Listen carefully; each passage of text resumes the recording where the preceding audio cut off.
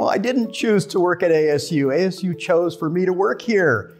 It was a long time ago, and uh, I had really uh, been working all around the state in the Writers in the Schools program, and I had won probably the premier first book poetry contest in the country. I was thinking about what I was going to do, and I got a call from ASU saying, Why don't you come and work here?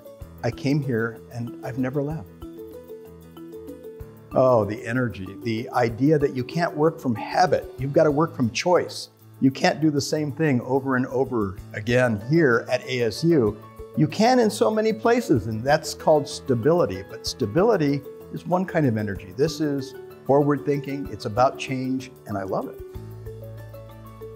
You can't always build a great future, a great program, a great anything by acting quite so precipitously. I found that patience, putting together a good plan, it's like planting a seed. It takes some time to germinate. And ASU has given me the time, it's asked of me as well, the time to make sure that that's all in order and then to see what happens. And what happens is blooming.